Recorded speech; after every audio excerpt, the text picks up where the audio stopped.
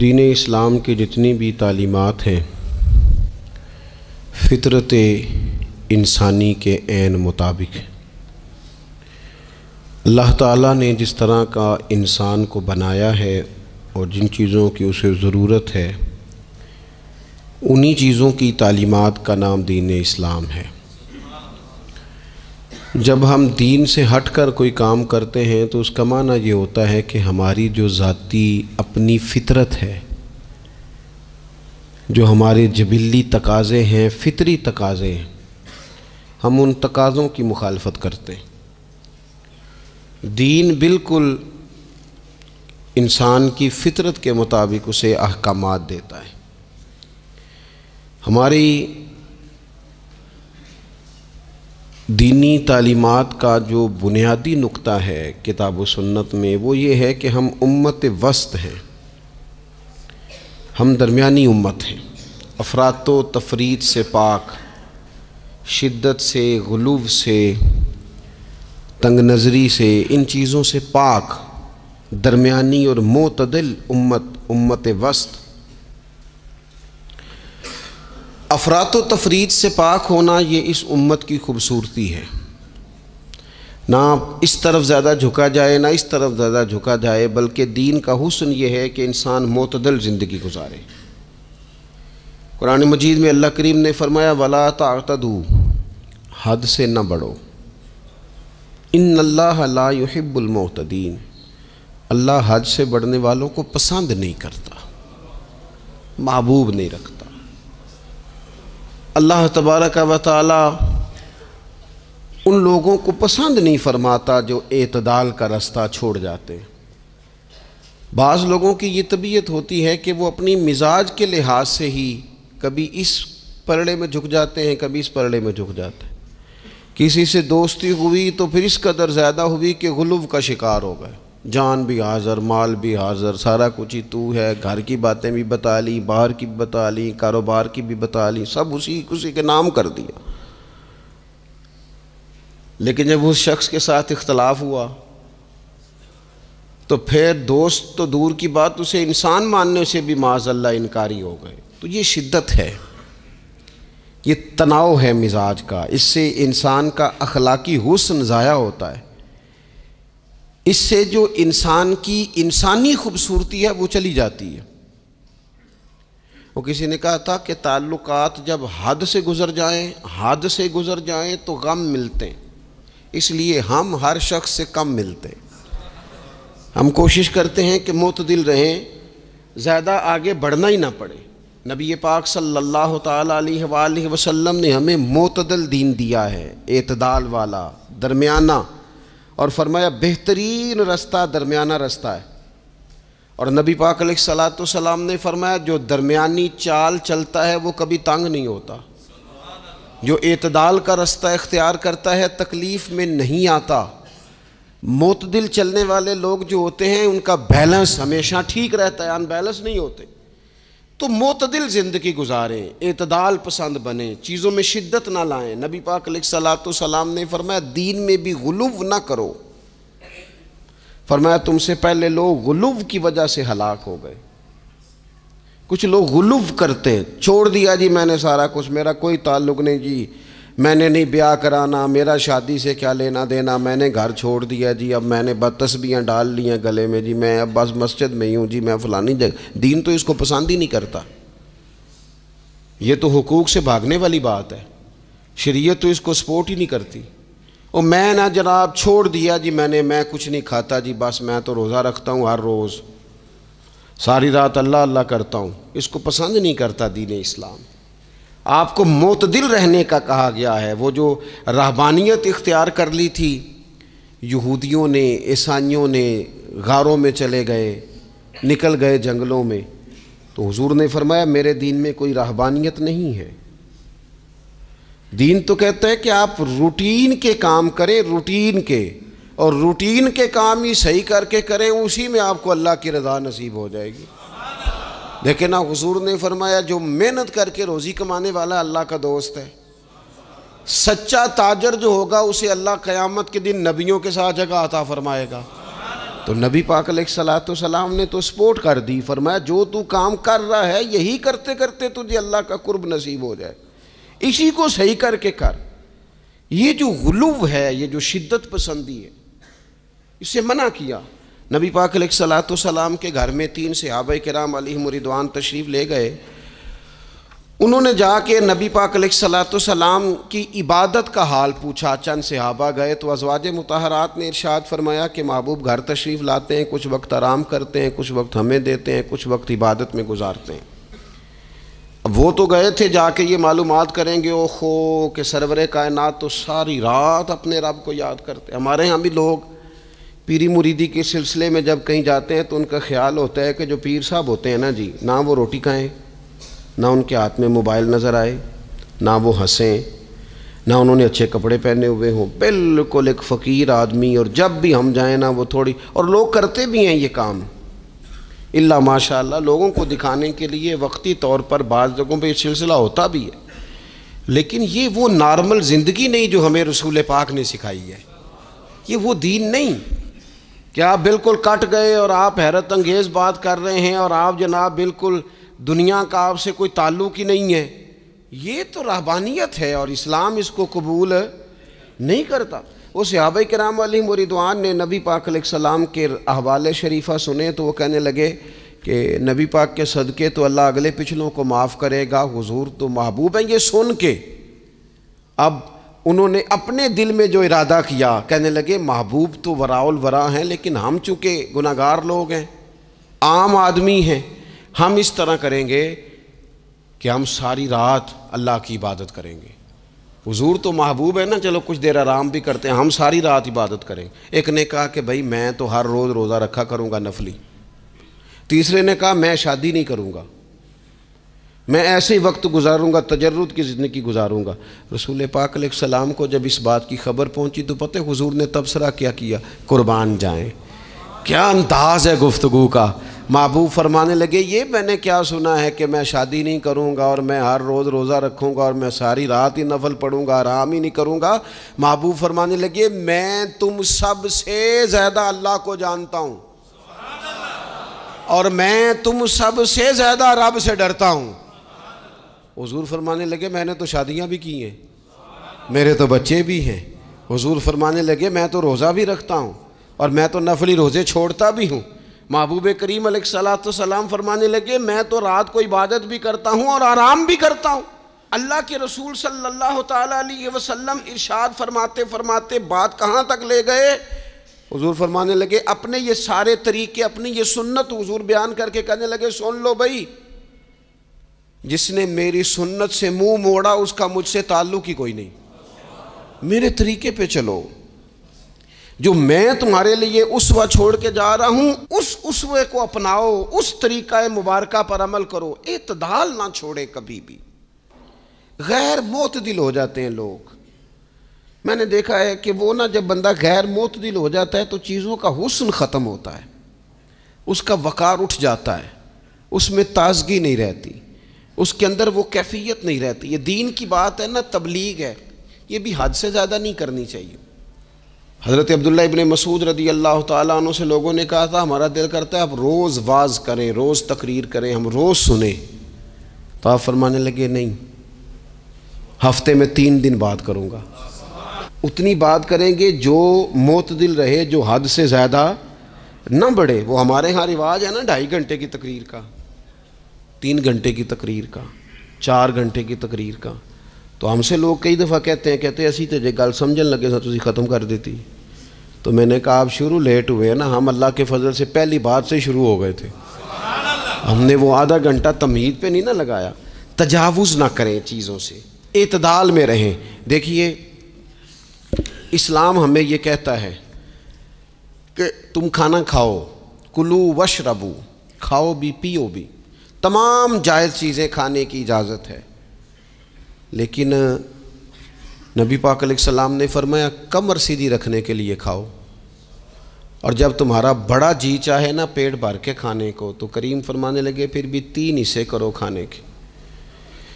एक हिस्से में हवा हो, एक में पानी हो और एक में खुराक हो। फिर भी पेट भर के ना खाओ, बल्कि अल्लाह के रसूल सल्लल्लाहु अलैहि वसल्लम फरमाने लगे, किसी ने इतना बुरा बर्तन भरा ही नहीं जितना किसी ने अपने पेट को भरा।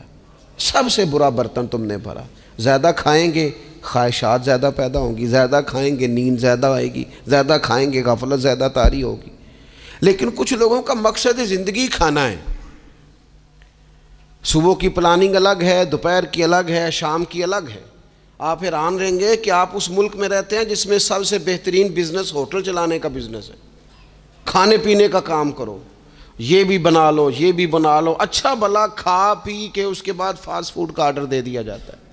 और खाने के बाद कितनी सारी चीज़ें। अब तो ये मैं कुछ अरसे से देख रहा हूँ अच्छा भला खाना खाते हैं, उसके बाद चाय के साथ बिस्कुट आ जाते हैं। मेरा एक गरीब घर से ताल्लुक़ है। हम तो उस वक़्त चाय के साथ बिस्कुट खाते थे, रस खाते थे, जब रोटी कोई नहीं होती थी। या रोटी खाने का प्रोग्राम नहीं होता था। कोई परहेज़ चलती थी, लेकिन अब वो वो लवाजमात चाय के साथ, अब तो लोग चाय का, अब जी आपका खाना नहीं पकाना, चाय पकानी है। तो चलो ठीक है, चाय पक गई, अब वो चाय पक रही है। उसके साथ जनाब भुना हुआ गोश्त पड़ा है, उसके साथ पिज़्ज़ा आ गया है, उसके साथ फलानी चीज़ आ गई। ये क्या है? जी जी अच्छा फिर वो ख्वाहिश भी होती है बाज़ मेज़बानों की कि अब ये तारीफ़ भी करें। वो सारा कुछ रख के तो साथ ये भी कह रहे होते हैं, तुसा चूँकि रोटी डाक छड़ी सी लिहाजा फिर हमने ना ये सारा कुछ किया है। यानी वो कह रहे होते हैं कि मेहमान अब ये कहे कि ओहो, आपने तो बड़ा तकल्लुफ़ कर दिया है, इसकी क्या ज़रूरत थी? तो कई मेहमान मेरी तरह के बड़े पक्के होते हैं। जो रोज़ के मेहमान होते हैं ना, बड़े पक्के होते हैं, वो तरीफ शरीफ कोई नहीं करते। वो साफ़ ही बात करते हैं कि तुम एक शहर रख देते असी भी चज न खा लेंगे अब तो ये चखने चखाने का ही माहौल है। कोई एक रखते या हमारी मर्ज़ी की रखते या पूछ लेते कि इस टाइम रोटी खानी है तो चलो हम खाते। ये लवाजमात हैं, ये तकल्लुफ़ात हैं। इसमें घर वाले भी तकलीफ़ में, पैसा भी बाज़ों का ज़ाया। आप खाने के लिए ज़िंदा ना रहें, ज़िंदा रहने के लिए खाना खाएँ। अपनी तबीयत में बोझ ना बनाएँ किसी किस्म का। नबी पाक सल्लल्लाहु अलैहि वसल्लम ने मोमिन की शान, पता क्या बयान की? फरमाया, काफिर और मुनाफिक सात आंतों से खाता है और मोमिन एक से खाता है। इतना फ़र्क है काफिर मुनाफिक के खाने में और मुसलमान के खाने में। छः गुना कम रोटी खाता है मुसलमान। छः गुना कम। हज़रत उमर फ़ारूक मुल्क के शाम में हज़रत अबू उबैदा बिन जर्रा से मिलने के लिए गए तो कहने लगे, इतनी दूर से आया हूँ। छिपा सालार और रोटी तो खिला। तो उन्होंने अपने बैग से रात का खुश्क टुकड़ा खाने का निकाला और पानी का प्याला दे के कहने लगे, उमर, ये लो, खा लो। तो हज़रत फ़ारूक आज़म कहने लगे, यही वो मज़ेदार रोटी थी जिसके लिए मैं तेरे पास आया था। यही वो खाना था, मैं तलाश कर रहा था कि ये तुम्हें मिलेगा। किधर गए वो लोग? जो रात के खाने में फ्रिज भी नहीं होती थी, रात के खाने में थोड़ा पानी डाल दिया अम्मा ने। उसको तीन चार दफ़ा उबाल लिया। रात की रोटियों में थोड़ा सा पानी और थोड़ा सा घी, पूरा घी नहीं, थोड़ा सा पानी और थोड़ा सा घी। और साथ दादी नानी ये भी कह रही है कि ये पानी से ज़रा नरम हो जाएगी रोटी। और फिर वो खाना खाया जा रहा है। उसके अंदर ना तो डॉक्टर आपको ये कह रहा है कि ये नुकसान का बायस है, ना मैदे पे बोझ बन रहा है, ना उसके लिए फिर भाइयों को जाके परदेश काटना पड़ रहा है, ना बाप को कई कई किस्म की नौकरियाँ करनी पड़ रही हैं। एतदाल में घर के अंदर ही सारा कुछ मैनेज है। ये वो हुस्न है जो इस्लाम कहता है तुम गैर मोतदिल हो गए, तुम हद से बढ़ गए। तुमने ज़िंदगी सारी खाने पीने पे लगा दी। और भाई, मन चाही नेमते तो जन्नत में मिलेंगी। हमने तो मज़े मज़े के खाने, वहाँ जाके खाने। वहाँ मिलेगा। फल और वहाँ मिलेगी नेमते जो बार बार मिलेंगी। चेहरे एक जैसे होंगे, पर जायका बड़ा मुनफरद से मुनफरद नज़र आएगा। तो वो जो पर्दा गैब में चीज़ें थी, वो सारी चीज़ें लोग कहते हैं हाँ जी हम सारी गैर मोत दिल ना बने थोड़ी सादगी लाएँ, थोड़ा दरमियाना राह इस्लाम उसको पसंद करता है। नबी पाक सलाम की बारगाह में एक मेहमान आया, अभी वो मुसलमान नहीं था। तो महबूब ने फरमाया, एक बकरी का दूध धोखे से पिला दो। एक बकरी का दूध धोया गया, पिलाया गया, फिर दूसरी का दूध धोया गया, पिलाया गया, फिर तीसरी का वो सात बकरियों का दूध पी गया। सुबह अल्लाह ने तोफीक दी दी और वो कलमा पड़ गया। अब नबी पाक सलाम ने फरमाया, इसे बकरी का दूध धो के पिलाओ। एक बकरी का दूध पिया, दूसरी का पी ना सका। रात सात का पी गया था।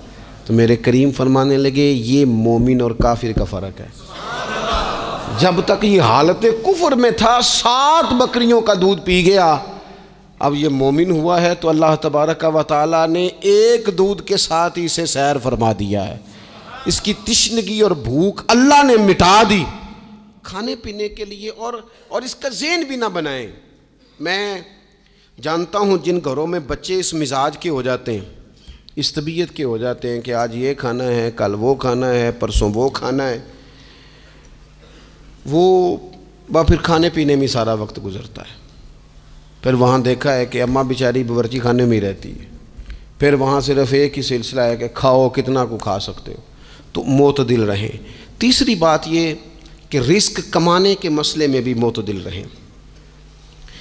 कारोबार करें, मेहनत करें मंसूबाबंदी करें, कोशिश करें, लेकिन पैसे कमाने के मसले में डिप्रेशन का शिकार ना हो। यानी इसको ना जीने मरने का मसला ना बनाएँ कि अगर एक महीना कारोबार सही चमका है तो सेहत भी ठीक रही है। और अगले महीने अगर थोड़े हालात ख़राब हुए हैं तो ब्लड प्रेशर भी काफ़ी ऊपर नीचे हो गया है। इसको नफसियाती मसला ना बनाए। पहले भी कई दफ़ा कह चुका हूँ, फिर कहता हूँ, दो चार पाँच दोस्तों से प्यार है तो दो चार दफ़ा उन्हीं दिनों में ना, साल के बाद आके मुझे कुछ दिन आते हैं ना कारोबार पे, उन्हीं दिनों में आके उन्होंने मुझसे कहा, दूर से आए का जनाब, हम कारोबारी बंदे हालात ठीक नहीं, कोई दुआ बताएँ। तो मैंने कहा, जिन दिनों ठीक होते हैं, उन दिनों क्यों नहीं आते? कि आजकल हालात बड़े अच्छे हैं, कुछ शुक्र का तरीका बताएँ। क्यों नहीं आते? क्या फ़लसफ़ा हमने इख्तियार कर लिया है? रिस्क का वादा अल्लाह का है। उसको कमाने में और पैसे कमाने में मेहनत करने का हुक्म दिया गया है। नबी पाक सलाम ने फरमाया, जद्दोजहद करो, निकलो। अल्लाह पे भरोसा करके निकलो, जिस तरह वो परिंदों को रोज़ी देता, तुम्हें भी देगा। लेकिन उसमें नफसियाती मसला ना बनाया जाए। नफसियाती ना बनाया जाए। हजूर सलाम ने ना एक जुमले के अंदर इस मजमून को इतने हसीन अंदाज में समेटा है ना कि मुसलमान ये इबन माजा में मौजूद है। मुसलमान अगर इन दो जुमलों को कभी समझ जाए ना तो सुकून आ जाए ज़िंदगी में इतमान नसीब हो जाए। तयक्न की दौलत मिले। हुजूर फरमाने लगे, रिस्क कमाने के मामले में मौत दिल रहना, कोई बद्दा उतनी देर तक मरेगा नहीं जब तक उसके हिस्से का रिस्क उसे मिल ना जाए। उतनी देर तक बंदा दुनिया से नहीं जाएगा, तेरा हिस्सा तेरे तक पहुंचेगा। कभी भी बेआबरू हो के रिस्क कमाने के चक्कर में ना पड़े। कभी भी जेन पे सवार ना कर लें कि मेरा काम नहीं चल रहा। कभी भी इस तरह की तबीयत ना बनाए। वो मैं थोड़ी देर पहले अर्ज़ कर रहा था कि एक बुज़ुर्ग ने ना दो कंजूस लोगों को पहले बुलाया। कंजूस आदमी थे। इल्ला माशा तो उनके सामने खाना रखा। खाना बड़ा बेहतरीन, आला क्वालिटी का। लेकिन उनसे कहा कि, जनाब, हमने ना एक सबक लेना है आपसे। तो खाना तो आपको मिलेगा और आपकी मर्ज़ी का पकाया है, पर खाने का तरीका हमारा है। उन्होंने क्या किया? यहाँ से रख के ना उनके हाथ बाँध दिए। ओ पुराने ज़माने में जो जर्रा होते थे, बाजू टूट जाता था तो बाँध देते ना लकड़ियाँ रख के। तो लकड़ियाँ रख के ना हाथ बाँध दिए ताकि ये जोड़ मोड़ ना सके। तो यहाँ से हाथ बाँध दिए का रोटी खाओ। कंजूस बंदे थे। अब उन्होंने लुकमा उठाया, हाथ बंधा हुआ यहाँ से ले जा के जब मुँह में फेंका, वो कपड़े भी सारे उलझ गए। हाल भी ख़राब हो गया, पर खाया उन्होंने मज़ा ले के पूरा। वो बड़ी बुरी हालत हो गई। वो कंजूस थे दोनों। दोनों को दस्तरखान पे रोटी खाई जा रही। अब उन दोनों को समझाने के लिए कहा कि अब हम तुम्हें दो और लोगों से भी मिलवाते हैं। अब दो वो बंदे बुलाए जो दिल के सखी थे, जो रिस्क के मामले में इसकर ज़्यादा हरीस नहीं थे। उनकी भूख जो थी वो कहीं दूर तक दिखाई नहीं दे रही थी। उन्होंने कहा, जनाब, इधर आए आप दोनों भी उनके भी हाथ बाँध दिए गए। कहा, आपने रोटी खानी है। आप नफीस लोग हैं। नाराज़ ना होइएगा, सखी बंदे हैं, पर खाना आपने खाना है। पर हमारी मजबूरी है, हमने आपके हाथ बाँध के रोटी देनी है आपको। वो दो बंदे भी आमने सामने बिठा दिए गए, खाना चुन दिया गया, हाथ यहाँ से बाँध दिए गए, लेकिन वो सखी थे। उन्होंने कहा, जनाब, कोई मसला नहीं, अल्लाह ताला तौफीक देगा। उन्होंने क्या किया? वो लुकमा लगाते और एक दूसरे के मुँह में डालना शुरू कर देते। खाना भी खा लिया, कपड़े भी बच गए, नफासत भी कायम रह गई। और किसी किस्म की कोई परेशानी आई? काम खासा मुश्किल है, किसी के मुँह में लुकमा देना। काम बड़ा मुश्किल है, यानी खाना आ जाए, पक जाए, पास पहुँच जाए। और फिर उसे तोड़ के, बना के, इतनी मेहनत करके दे, किसी के मुँह में देना। लेकिन ये दे के देखो, कपड़े बच जाएँगे इन नफासत नज़र आएगी, हुसन नज़र आएगा, खूबसूरती नज़र आएगी। इसमें लताफत महसूस होगी। इसमें लगेगा कि ये बंदा ऐसा है जिसे अल्लाह ताला ने अपने फजल से अता फरमाया है। तो गैर मुतदिल तरीका बंदे को रसवा कर देता है, रसवा कर देता है। वो माल कमाने तो निकलता है, लेकिन वो कमज़ोर हो जाता है, उसका मिजाज और तरह का हो जाता है। मैंने देखा है वो जनाब, सारी दुनिया छुट्टी पे है, लेकिन इसने कहा, चलो, आज मैं दुकान खोल लेता हूँ। गाहक कहीं भी नहीं आएगा तो चलो सारे आज मुझे मिल जाएँगे। ऐसा नहीं होता। रिस्क अल्लाह ने तकसीम फरमाया है। और जिसका है वो उस तक पहुँच जाता है। तो गैर मोतदिल तरीका और रसवाई वाला तरीका कभी भी इख्तियार इसी तरह का मामला सखावत में है। नबी पाक सलाम ने फरमाया कि जब सुबह दिन चढ़ता है तो फरिश्ते दुआ करते हैं, कहते या अल्लाह, सखी को ज़्यादा अता फरमा। उसे ज़्यादा दे। हुजूर फरमाते हैं, जो सखी होता है ना ये लोगों के भी करीब होता है, अल्लाह ताला के भी करीब होता है और जन्नत के भी करीब होता है। और ये जो कंजूस होता है, ये लोगों से भी दूर होता है, अल्लाह ताला से भी दूर हो जाता है, जन्नत से भी दूर हो जाता है। सखावत बड़ी आला चीज़ है, लेकिन इसमें भी मोतदिल रहने का कहा गया है, मोतदिल। कुछ लोग ऐसे हैं जो सखी नहीं होते। ये मैं कोशिश करूँगा तशरी आपके जहन के मुताबिक कर लूँ। सखी, मिजाजन सखी, लेकिन अगर कभी चिढ़ जाए ना, वो जितने मर्ज़ी पैसे ले लो उनसे। मिजाज में सखावत नहीं। लेकिन अगर तबीयत है इस तरह की कि अगर उनका जेन आ गया ना, कभी कहीं किसी ने तारीफ़ कर दी है, पूरी खुशामद उसने कर ली है तो फिर तो जनाब सारी जेब भी आप खाली करा दे। ये मिजाज की सखावत नहीं है। ये तो आपकी तबीयत का वो उबाल है कि अगर किसी बंदे को पता चल गया है कि किस तरह करके आप काबू आते हैं तो फिर वो रोज़ इस्तेमाल करेगा। और ये होता है, ये माहौल होता है। मैं चूँकि मजहबी माहौल से ताल्लुक़ रखता हूँ, मैंने ख़ुद ये देखा है कि कोई शख्स अगर उसने ज़्यादा बड़ा मुँह खोल के लोगों से मांगना शुरू कर लिया तो फिर तो जनाब बड़ी बात है, महँगा आदमी और अगर कोई अपनी वज़ादारी कायम रखता है, खुशामद नहीं कर सकता, उसकी तबीयत नहीं है कि वो बीस पचास लोगों की खुशामद करे, दस को हाजी साहब कहे, बीस को आश के रसूल कहे और तीस पैंतीस को कहे, जनाब बड़ी बात है, हमने तो बड़ा देखा है, आप तो बड़े बेहतरीन लोग हैं। तो फिर जनाब वो, अगर ये काम उसे करना आता है तो फिर इसका मतलब है उसे दिहाड़ी भी अच्छी लगानी आती। फिर उसकी आवाज़ का भी ज़्यादा सुरीला होना ज़रूरी नहीं। फिर अल्लाह ताला माफ़ फरमाए, फिर बस ठीक है, अब मैं क्या इस पर तबसरा करूँ? फिर तो हम देख रहे होते हैं, जिसको वो आश के रसूल कह रहे होते हैं ना। और ऐसी ख़तरनाक मेरे सामने एक नात खैक साहब से कहने लगा नात हजूर की पढ़ी जा रही है। कभी शोरा एक काम करते थे, वो कहते थे, शेर तेरी नज़र है, वो गज़ल का शेर है या कोई ऐसा शेर है? लेकिन एक शेर है नात का। उसमें तो हजूर की तारीफ़ है। नबी पाक की तारीफ़ का शेर किसी बंदे की नज़र कैसे हो सकता है? जब उसमें ज़िक्र ही रसूल पाक का है। तो वो नाद खां साहब कहने लगे, बंदा सामने बैठा है, थोड़ा बहुत मैं भी उसे जानता ही था। तो उसे कहने लगे, हाजी साहब, ये शेर तो नज़र है। मैं उन्होंने आख्या, तू मेहरबानी कर यदी नज़र कोई और शह कर लिया ये तो नात है हजूर की, ये नबी पाक के लिए ही रहने दे। इसकी नज़र तूने कर दी है तो नाले मैं क्या ये हाजी जिनी देर तक पीछे बैठा सी, उन्नी देर तू नज़र की नहीं हूँ दथियाँ लैके सामने आए तो तू नज़र ने न्याज शुरू कर ली न करें ये काम, इससे कोफ्त पे, और आप यकीन करें, मैं ज़िम्मेदारी से कहता हूँ, ये काम करने वाला भी तंग होता है। और जिसके लिए कर रहा होता है, पता उसे भी सारा ही होता है कि चक्कर क्या चल रहा है। सब पता होता है तो इस तकल्लुफ़ में जब इंसान काम करता है तो कहाँ तक बात जाती? सखावत करें, लेकिन चिढ़ कर कोई काम न करें। नबी पाक सलाम ने फरमाया, हुजूर फरमाने लगे, इस तरह खैरात ना करना कि तुम्हारे अपने बच्चे बाद में लोगों के सामने हाथ फैलाते फिरे। हज़रत साद बिन नबी वक़ास रदी अल्लाह तुमने अर्ज़ किया था, या रसूल अल्लाह सल्लल्लाहु अलैहि वसल्लम, मैं सारा माल अल्लाह की राह में खैरात करना चाहता हूँ, मेरी एक ही बेटी है, मैं चाहता हूँ सारा अल्लाह के रस्ते में दे दूँ। तो हुजूर फरमाने लगे, नहीं भाई, तू चौथा हिस्सा दे। तीन हिस्से अपनी बच्ची के लिए, बीवियों के लिए, बाकियों के लिए रख ले, लेकिन तू ये काम ना कर।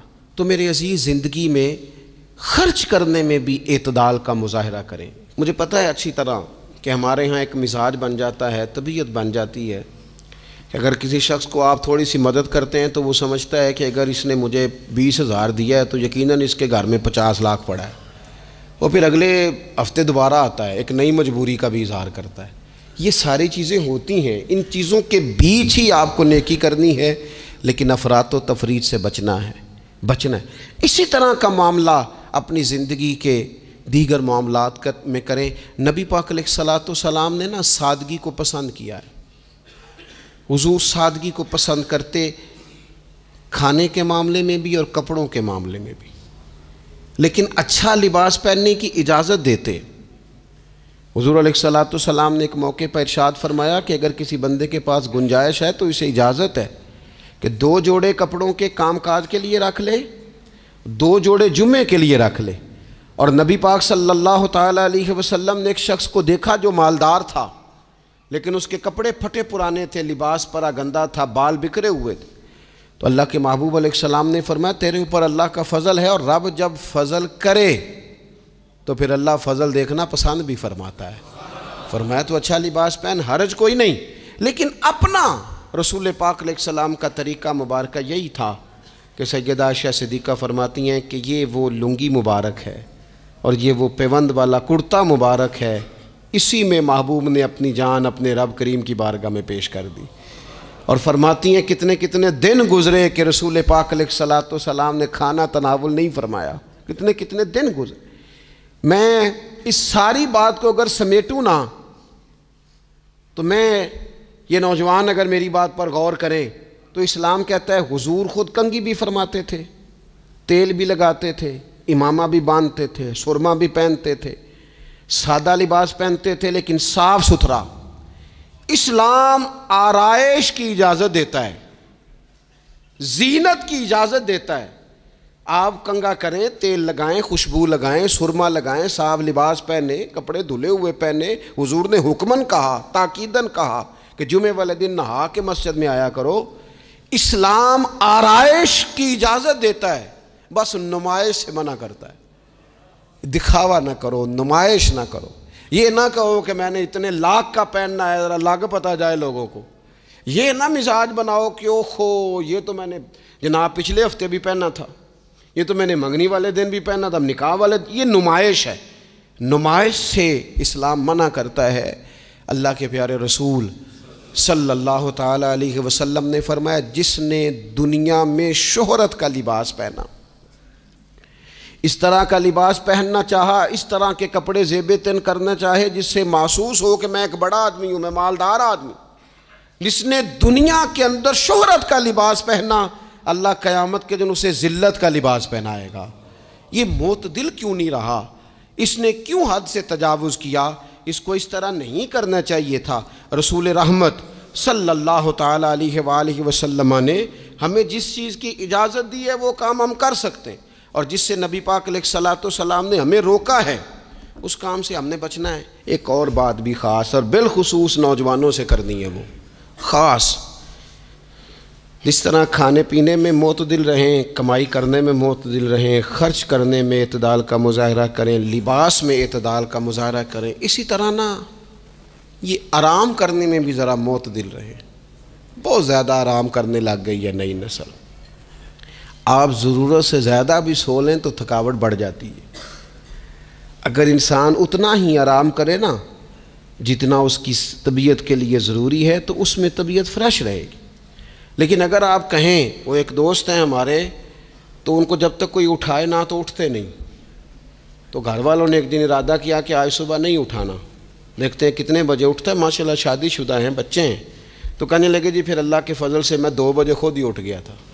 नहीं, रात एक शख्स सोया है और अगले दिन दो बजे सोया तो अब उन्होंने तो ये बात मोहब्बत में की तो फिर मैंने उनसे ये पूछा, मैंने कहा, ये बताएँ कि आप चलें रात, आप सो गए, समझ लें, आप सो गए दो बजे रात को, बारह घंटे के बाद अगर आप उठे, तबीयत कैसी थी?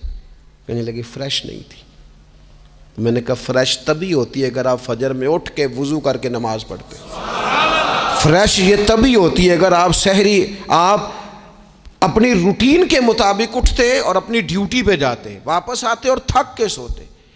बहुत ज़्यादा आराम पसंदी और जब से ये साथ मोबाइल अटैच हुआ है, एक कोना मिल जाए, एक तकिया मिल जाए और मोबाइल की बैटरी मौजूद हो और सर्विसेज़ उसकी सारी ठीक हो, फिर हमें आवाज़ कोई ना दे। इससे क्या होता है? वजूद बिल्कुल सुस्त हो जाता है। आपको अल्लाह ताला ने जो कुदरती सलाहियतें दी हैं, आप जो कुछ कर सकते हैं अपने घर के लिए, वतन के लिए माँ बाप वो आप नहीं कर पाएँगे। जंग आलूद हो जाएगा वजूद। हर वक़्त की थकावट, हर वक़्त का मिजाज के अंदर सुस्ती का जाना एतदाल से ना निकले। नींद सात आठ घंटे बहुत काफ़ी है। और वो भी मैं मैं आपको एक ज़ाती बात बताता हूँ। अगर अल्लाह चाहे ना बंदे की नींद पूरी हो तो कई दफ़ा सिर्फ़ 20 मिनट आँख लग जाए तो बंदा फ्रेश हो जाता है। और अगर मंजूर ना हो मालिक करीम को तो फिर ठीक है, लोग लेटे हुए अल्लाह के प्यारे रसूल सल्लल्लाहु अलैहि वसल्लम ना बहुत ज़्यादा आराम, तलबी को पसंद नहीं करते। मुसलसल जद्दोजहद, घर आए, कुछ देर आराम किया, नमाज़ शुरू कर ली। हुजूर तहजद में उठ गए, फिर हुजूर फजर में उठ गए। दोपहर में थोड़ा सा आराम फरमाते ताकि रात को बेदार रहना आसान हो। लेकिन बहुत आराम पसंदी हमारे हज़रत साहब फरमाया करते थे, ज़मीन के ऊपर काम, नीचे जाके आराम। वो किसी ने कहा था, जागना है, जाग ले, अफलाक के साए तले। फिर तू हशर तक सोता रहेगा, खाक के साए तले। सोना ही है ना मरने से लेकर क़यामत तक, सोना है ना। तो अब तो जागने का वक्त है। नबी पाक सल्लल्लाहु अलैहि वसल्लम ने हज़रत माज इबन जबल रदी अल्लाह तु को यमन का गवर्नर बना के भेजा तो नसीहत फरमाई हजूर सलाम ने फरमाया था तो मैं गवर्नर बना के भेज रहा हूँ, ऐश कोशी से बचना।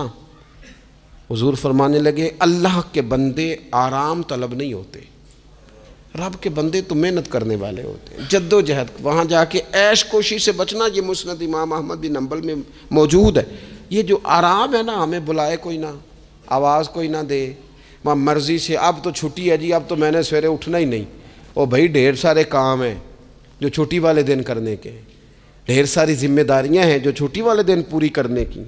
अपनी ज़िंदगी से, अपने वजूद से कुछ नफ़ा लें ऐसा ना हो कि ये बेकार हो जाए। लेकिन अगर ज़िंदगी सिर्फ़ और सिर्फ़ खाने पीने में, लिबास पहनने में और बातें करने में लग जाए तो फिर तो आप बेकार हो जाएँगे। फिर तो महसूस होगा कि जैसे इंसान ना ख्वाबों की दुनिया में ज़िंदा है, बातों के साथ अपने दिल को मुतमिन करता है। उसने अच्छा लिबास पहन लिया है, बस आईने में अपने आप को देख के खुश होता रहता है। तरह तरह के खाने मंगाता रहता है, बस ज़ुबान के जायके पूरा करता रहता है। इमाम तबरानी हदीस लाए हैं, रसूल पाक सल्लल्लाहु अलैहि वसल्लम ने फरमाया, मेरी उम्मत में ऐसे लोग आएँगे जो रंग बरंगे खाने खाएँगे, अनवाओ अकसाम के मशरूबात इस्तेमाल करेंगे तरह तरह की जेबो जीनत करेंगे और मुँह फाड़ फाड़ के बातें करेंगे, मुँह खोल खोल के गुफ्तगु करेंगे। हुजूर ने पता क्या फरमाया? फरमाया, ये मेरी उम्मत के बदतरीन लोग हैं। ये बदतरीन लोग हैं जिनका मकसूद ही सिर्फ़ लिबास पहनना है, मकसूद ही सिर्फ़ खाने खाना है, मकसूद ही मुँह खोल खोल के बातें करनी है। इन लजात में जो लोग पूरी तरह उलझ गए, कोई खैर का काम ही ना कर सके, कोई मकसद ज़िंदगी की तरफ़ ही ना बढ़ सके, ये बदतरीन लोग हैं। अज़ीज़ दोस्तों, इन तीन चीज़ों में ढेर सारे लोग अल्लाह ताला माफ़ करे, इल्ला माशा अल्लाह सबको महफूज रखे, अपनी ज़िंदगी को ज़ाया करते दिखाई देते हैं। या तो खाने पीने का शौक़ है या लिबास की जीबो जीनत की तरफ़ तवज्जो है, या बस नशिस्तन, गुफ्तन, बरखास्तन, बैठे हैं और बातें की हैं और उठें और इतनी बातें की हैं, इतनी बातें की हैं, इसमें भी कोई एतदाल नहीं। बहुत ज़्यादा बोलने से वकार चला जाता है। बहुत ज़्यादा बातें करने से बातों का हुस्न ज़ाया होता है। बहुत ज़्यादा बोलने वाले के जुमले कीमती नहीं रहते। बहुत ज़्यादा बातें करने वाला आदमी बेवज़न और बेवक़त होने लगता है। बग़ैर मांगे मशवरा देने वाले लोगों के मशवरों को लोग रद्दी की टोकरी जानने लगते हैं। अपनी ज़िंदगी को अगर वज़ादार और बावकार बनाना चाहते हैं तो ज़रा लिबास में भी सादगी हो। अल्लाह की हर नेमत खुश दिली से इस्तेमाल की जाए। सादा खाना भी मिले तो रब की अता समझ के, रगबत के साथ, शौक़ के साथ उसे इस्तेमाल किया जाए। मजलिस में बैठा जाए तो सीखने की कोशिश की जाए, दूसरों की बातों को सुना जाए। अल्लाह ताला ने ना कान दो दिए हैं, ज़ुबान एक दी है। माना क्या है? डबल सुनना चाहिए और सिंगल बोलना चाहिए। दो गुना सुने और उससे आधी गुफ्तगु करें। और हमारे हज़रत तो फरमाया करते थे, अपने जुमलों को छोटा करो। जो बात थोड़े जुमलों में कही जा सकती है, उसे लंबे जुमलों में ना कहो। हर बात की वजाहत करना और हर बात का पस मंज़र बयान करना और बात को इतना लंबा कर देना कि असल बात ही उसमें से रह जाए, बीच में से मुद्दा ही ख़त्म हो जाए, आने का मकसद ही किसी को समझ में ना आए, इससे भी इंसान इतदाल का रास्ता छोड़ता है। तो फरमाया, वला ताकतदू हद से ना बढ़ो। इन अल्लाह ला युहिब्बुल अल्लाह हद से बढ़ने वालों को पसंद। नहीं करता। अल्लाह तबारक व ताली हमें दीन का जो हुस्न है, एतदाल पे रहना, उस पर हमेशा कायम रखे। आखिर दावा या अनिलहमदिल्ला रबालमी काफिर इसी पिच हो गया। फिर तशबी मुसल्ला की करना। असा ज़ाहिर रब मन आए। बातन दा अल्लाह की करना असा जाहिर नू रब मन्ने आए बातन दा अल्लाह